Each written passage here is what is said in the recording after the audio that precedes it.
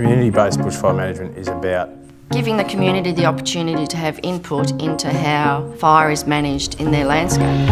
A partnership approach to bushfire management that values and recognises people within the community as having an equal voice. Instead of starting with something that's important to government or important to DELWP, it starts with what's important to communities. Communities have got these strengths, so let's build on those strengths and make sure that the community is heard in the planning process. There's dissent and discussion and argument, but it's all very positive. Everybody gets heard, and I think that's really, really important.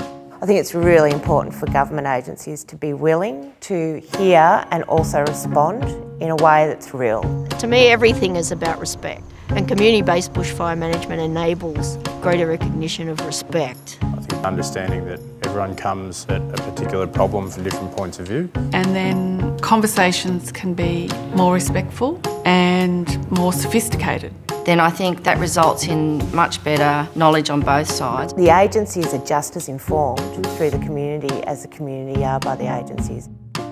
There is a shift that occurs when you allow space for others to have a say.